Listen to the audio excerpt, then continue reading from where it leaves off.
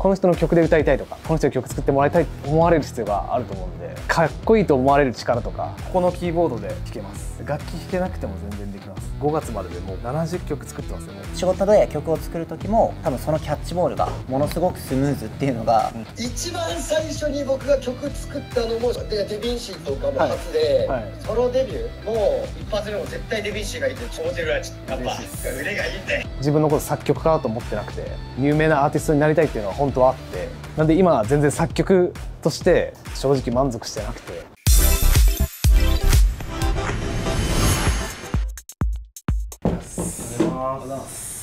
本日は一日密着よろしくお願いします。ありがとうございます。音楽プロデューサーデビンシーレペゼンフォックスの楽曲に初期から携わり現在まで音楽プロデューサーとして多くの楽曲を手掛けている。他にも現在2桁にもなるアーティストやグループをプロデュースマネジメント楽曲提供をしている。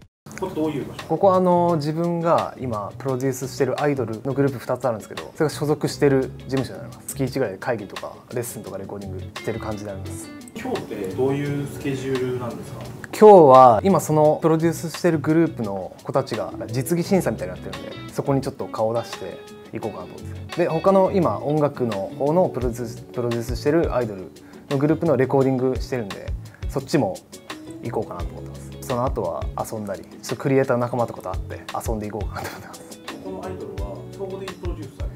ここのアイドルに関しては、まあ、音楽面とマネージメントやってるんですけど他にもう一人プロデューサーもいてでそいつも後でちょっと会うんですけどともう一個の会社の方でそいつはメインでやってて僕は音楽って感じですね。ここは割とマネージメントもやってます。グループは、えっと、ラストプリンスとクライベイビーズってグループになってます。でこの後レコーディング行くグループが DOL ってグループなんですけどそのグループはこの前「昼帯のとエンディングテーマとかなったりして結構あの頑張ってるグループです。はい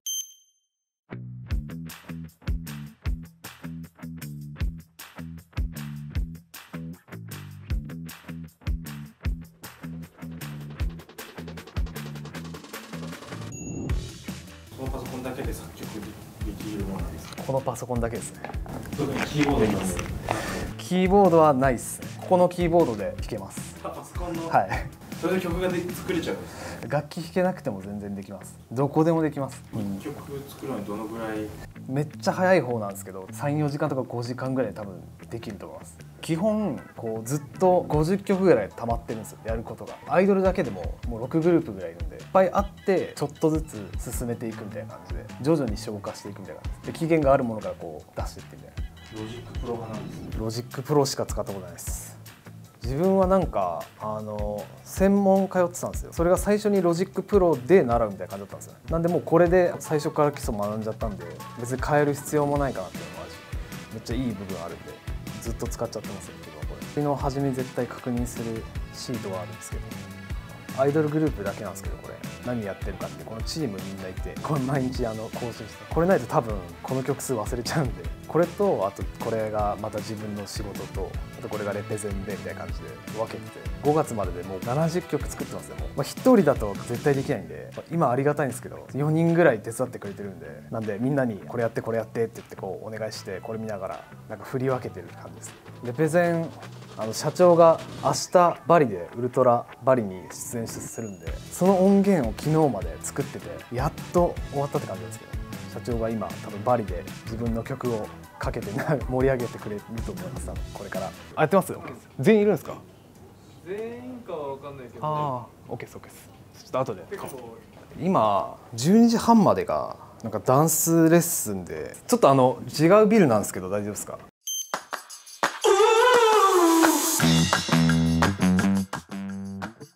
この人数ほぼほぼ全員見るんですよ。毎回毎月審査してなんか評価みたいな。みんな結構上手くなってて成長見るの楽しいですラストプリンスとクライベイビーズのマネージャーの2人です。一緒に仕事してます。どんなのですかね？なんか優しい普段優しいんですけど、うん。やっぱ仕事のことでちゃんと律するところ律する、ん。でプロデューサーなのにマネージャーみたいに個人でメンバーにケアしたりとか連絡したりする。怖さもあり優しさもある。怖さあるのか。ちゃんと向き合ってるなっていうのが全然僕の気づけてないとこいっぱい気づいてこうした方がいいよって後ろからフォローしてくる何かあればすぐ相談してます。確かに。この前深夜12時に電話してきたんで 一瞬入っていい一瞬いい。彼らがあの新グループのプロデューサーです。どうでした？今すごいシナジーそうです。日シナジーがね。みんななんか頑張ろうっていう感じがはい。伝わってきてすよかったっす。お疲れっす。これから全員おめでとうじゃ内定したんだよ。とりあえず。じゃあよろしくですこれから。えっとクライベイビーズの武藤天音です。えークライベイビーズの高橋楽です作ってくださる楽曲とかどうですか？歌詞がなんか素敵ですねやっぱり。歌詞も俺じゃない。し。歌詞え本当ですか？歌詞に っていうね。プロデューサーを褒めつつ、褒めつつつつ一番は他のグループさんにない曲というか同じ曲があんまりないというか、うん。普通のグループさんよりはまた違った要素のある曲が作れる方だと思っているので、まあ、そこで本当にここでやらせてもらってよかったなと思ってだ からそれこそレペゼンさんだったらレペゼンさんに合った曲だったりクラベビだったらクラベビに合った曲を心底理解して作ってくださってるのが最初に聞いた時に分かるのでいろんなグループを見て本当にいろんな楽曲が作れるんだなってすごいなってずっと尊敬してるのでだから僕たちもどんな楽曲がこう次来るのかなっていうのも楽しみですし、まあ、そこが本当にありがとうございますっていう感じで。いや嬉しいよなんか。よかったこの企画やって。この企画ないっすもんね。みんなすごい内気なんですよ普段。全然何考えてるか分かんないですけど。そんなこと考えてくれてたんだね。頑張ろはい、ういろいろあるけどね、はい。頑張ろう。ありがとうございます。ラストプリンスの紅葉です。デレンシーさんの作る楽曲とかてみてどういう感想を持ちました？やっぱめちゃくちゃかっこいいです。バービーベイビーとかうん。もそうなんですけどテンション良くて、うまあ、あとはレペゼンさんの曲とかも結構聴かせていただいてるんですけそどもともとちょっと好きでデビーシーさんが作ってるんだっていう驚きがありましたね。あそうだったんだ。ね、はい。本当に。必要不可欠なストプリンスのメンバーみたいな感じで。いや嬉しい。俺もそう思ってる。本当ですか？そう思ってるぐらいでやってる。あ嬉しいです。本当ずっとこの関係でいたいです。いやよかった嬉しい。嬉しいです。ありがとうございますあれめちゃめちゃみんな素直で頑張ってくれるんですね。もうマジで。みんな可愛いです。自分がプロデュースしてる子たちに今後どうなってほしいあるんですか？もちろんみんなメジャーを目指してやってるんですけど、まあ、アイドルとしてグループとしてやっぱ大きくなってほしいっていうのもあるんですけど一人一人がアーティストとしての自分はこうだとかを今まだあんまない状態なんで日々から伝えたりしてて、まあ、伝えられることは伝えていきたいなって思ってこの後は今ある作業とか仕事をやっていこうかなと思ってます。まあできるらしいんですけど。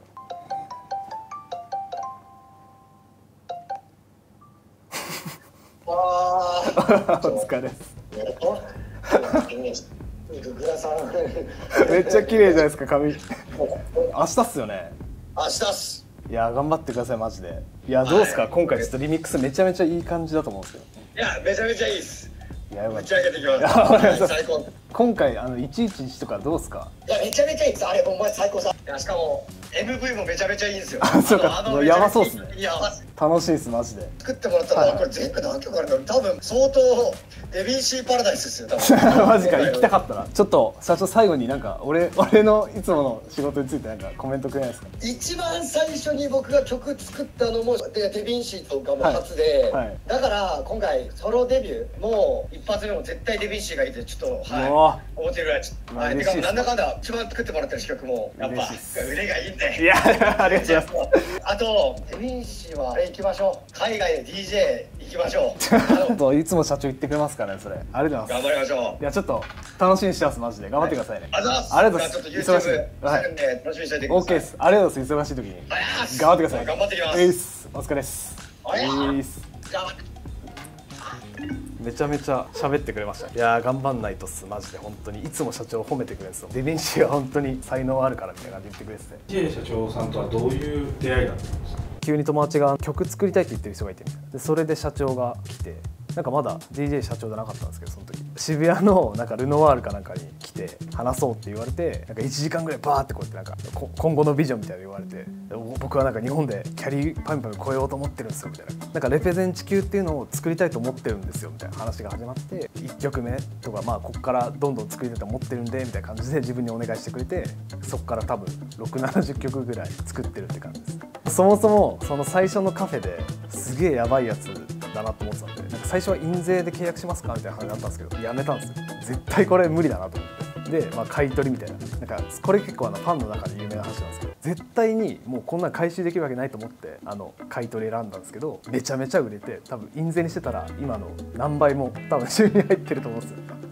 何百倍じゃないですいやちょっと計算したんです。多分億とかです。多分入ってたと思うんですよ。ただそれはもう自分の見る目がなかった逆にお金じゃないところでの、はい。あれはありますよね。そうですね。いいメリットはめちゃめちゃあるんで本当めちゃめちゃ助かってますけど。あそこで自分が選んどけばっていうのはなんかそういうのは多分あると思いますみんな。タイミング。次はちょっとあのもう一グループ、えっと、音楽プロデュースしてるグループの、えっと、新曲のレコーディングです。いいです。しです。お願いします。頑張っておにぎりおにぎり頑張ってお疲れ。お疲れ。お疲れ。お疲れ。お疲れこちら側の音楽プロデュースさせていただいている D オグループになります。DR です。はいよろしくお願いします。人数が多いです。今日ね今日新曲撮ったんだよね。新曲のレコーディングで。どうですかどうでした？レコーディング。いけそうですか？あよかった。MV もね出たばっかり。あそう。今出たばっかのリズゴットって曲ね。はい。出てる。ちょっとそちらもチェックしてちなみにビューの楽曲うん。ほぼ作ってくれてるじゃないですか。おう V 級再生数がですね、100万再生。おマジで？おおすごい。まずビューのありがとうございます。100万はでかいそれはなんかマジ感慨深いね。これからも頑張っていきましょう。よろしくお願いします。よろしくお願いします。頑張りましょう。あのずっと一緒にやってるプロデューサーのプロデューサーのリキです。この作詞やってもらってる作詞と。自分の曲はほぼ彼があの歌詞もメロも。歌詞もメロも。8割ぐらい一緒に作ってます。ほぼ一心同体です。あそうさっきなんか俺のことを褒めてもらうみたいなやつがあったけど、うん。歌詞がいいですって言われた。俺な。そうそうそうほぼ俺。歌詞がめっちゃいいです。よそれは俺。まあちょっとリキはあのちゃんと話を後で。彼が弟弟です。あ弟。レコーディングしてもらってる弟です。あごめん。なさいまたおねあおいです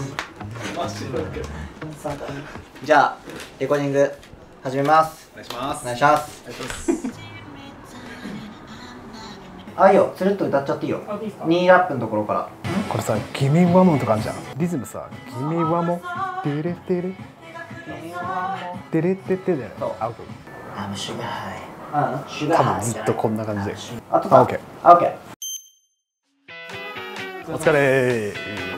お疲れです。お疲れです。ありがとうね。お疲れ様です。曲作ろうか。やりましょう。曲を作ろう、彼が後輩のルイです。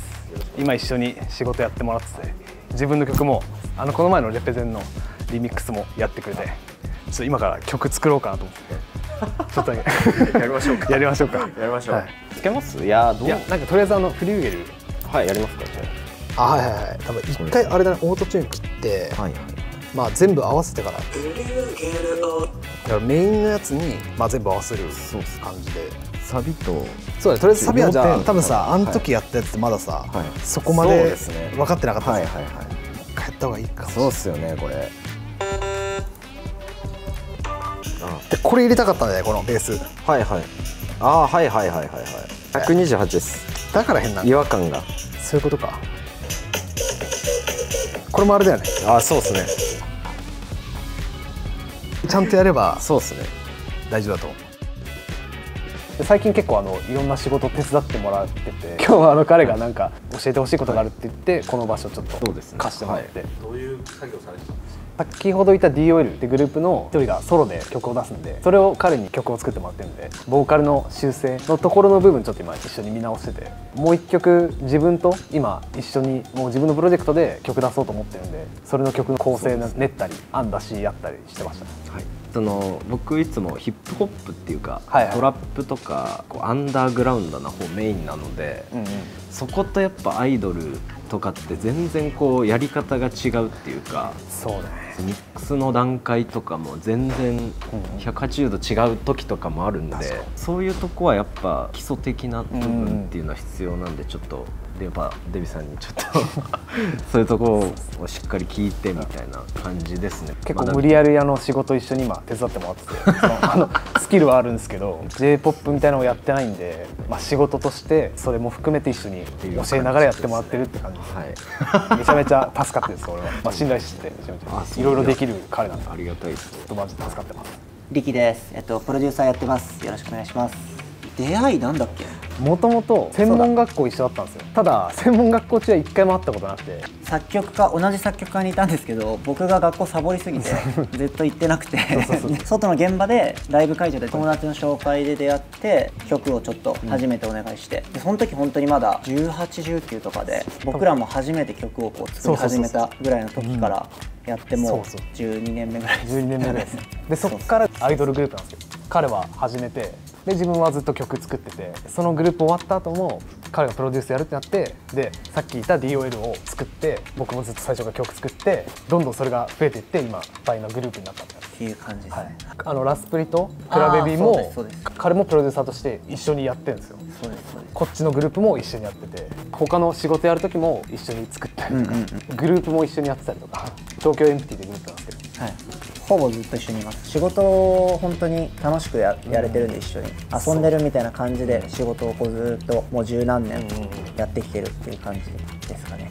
作詞をしてる上でデビンシさんの曲の魅力だったり他の作曲の方との違いだったりとかってありますすごい僕がなんか自分で言うのも変なんですけど特別だと思っててトラック彼がポンって上げてきた段階でほぼあこういうことしたいんだなっていうのが僕が分かる多分お互いそうだと思うんですけど、僕がメロとかトップラインとか、えっと、歌詞を投げた段階で彼も僕がこういうことしたいんだなっていうのすぐ分かるみたいなのが全てっていう感じで、自分たちの好きな音楽を作る時もそうですし仕事で曲を作る時も多分そのキャッチボールがものすごくスムーズっていうのが、結構僕たちの武器なんじゃないかなっていうところですかね。そうっすねマジで、うん。デビンシーさんと今後こういうことやっていきたいなみたいなのってあったりします？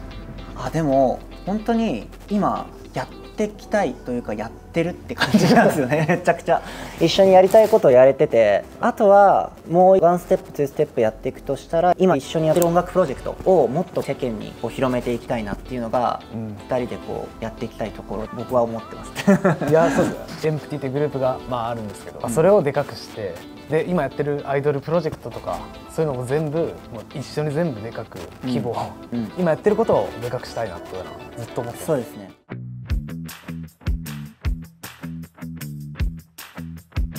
嘘でしょ？あ、うんあじゃあ最後やばいよね。それ無理でしょ。大体行く店決まってて仕事を中から行く。大体そうなんですそう。ありがとうございます。この店できた時に来させてもらってずっとダーツしてるんですねずっとダーツしてる。マジでダーツしかしないですめちゃくちゃうまくなっていや結構ね一人でも来るしこう仲間内でみんなで来て遊んでるもんダーツするから。あそれこそだってダーツ大会ここでやったやったんですこの辺のお店対抗で。あとお客さん代表みたいな。やって1415店舗分集まってみんなでやるみたいな。しかもなんか3回目からプロの人とか来ない だんだんプロの人とか来て全然勝てなくなって。いやそう。最初は遊びだったそうそうそう。急になんかガチ勢入ってきて。そうそうそうそう。お客さんもやりたいですあいいよっつってガチ勢入ってきたからちょっとこれから挑戦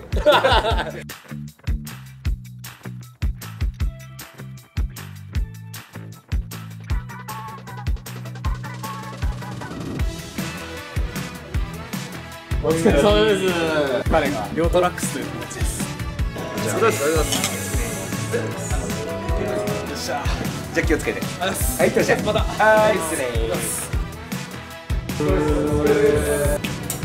疲れですお疲れ様ですお疲れ様ですおおめでとうああどうぞどうぞおめでとうだわ最高うんうまっそうそうあの本当にあの18ぐらいからの付き合いで彼も。もともとあの同じバンドやってっていうかビートボックスメインでメインでやってるやつけど今はカメラマンの方が仕事多いです